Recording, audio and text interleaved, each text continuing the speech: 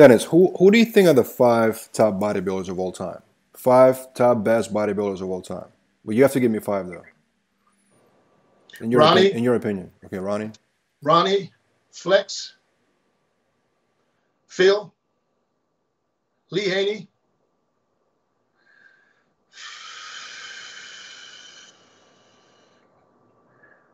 Now it depends if you go if we go by what they achieved or what they my personal my personal look. Five top dead top dead or alive. What what I personally like as a physique wise or as a In your opinion, like top five, you know. yeah. Um to be your opinion, so whatever you think. yeah. Kevin. Kevin and Arnold. Kevin Levrone. Kevin and Arnold. Yeah. I think it's really good that you put. But Arnold, because out of respect, because I don't think Arnold uh, you know, would be able to compete with the way he looked back then today, or, or with these guys I mentioned. I just don't think he would have a chance. But he wasn't at that. They weren't at that point that back then. You know what I mean? But Arnold had no competition, so everybody puts Arnold as the greatest bodybuilder. He had the most success. But if if I have to judge my top five physiques of all time, I have to put Kevin in there way before Arnold. I think it's great that you put uh, Phil on that list because Phil gets so much like he. A lot of people dismiss him, you know what I mean? But I feel like he accomplished a lot. Phil like, gets a a lot of hate. Phil gets a lot of hate from people, and and and I, I, sometimes I don't get it. I don't get it either. I don't get it either. I don't get I- it. sometimes I really don't get it, and especially I don't get it from fellow bodybuilders. Listen, you don't have to like somebody's personality, but you cannot knock this man's physique. I don't give a f- what you say. You know what I mean? You don't have to like a person. You know what I mean? Absolutely not.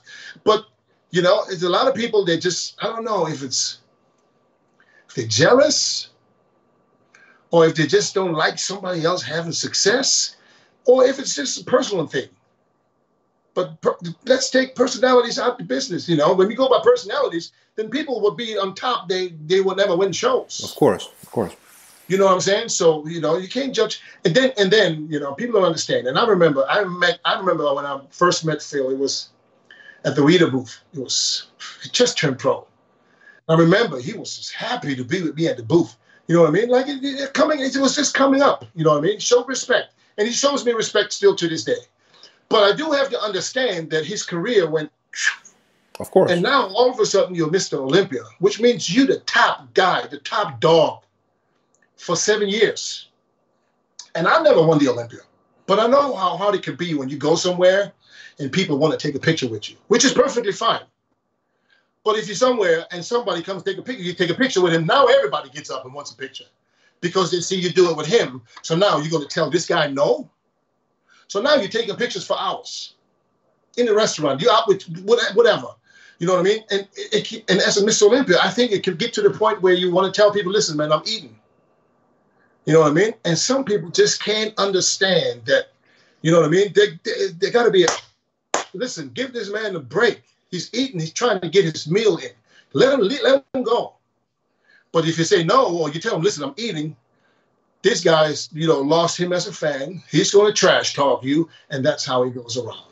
But I feel like also that, that that's a good point. But I also feel like a lot of people dismissed him like his physique because I felt like for seven years he was very dominant. You know what I mean? I always just, How can you dismiss a physique when I- he I know. Olympia seven years? it's crazy. And how many times can you say he shouldn't have won? People said he people said he should have lost a couple of times to whoever, but that's not the point. I feel like Who? Who said he should have lost? Some people said he lost to Kai at some point, 2015, I think, and some people thought maybe Ramy took. I don't know. I'm just saying people people talk, you know. But the point is, I, I don't, you know, I feel like he was dominant for seven years straight. Yeah, yeah he was. He was dominant. Absolutely. And I'm saying, and I don't have any, me and Phil, you uh, know, there's no business going on. I'm just saying this from outside looking in. exactly. Absolutely. No, You I agree. I agree. Absolutely. And if he wa- if it wasn't for his distended stomach, he would have eight and maybe nine.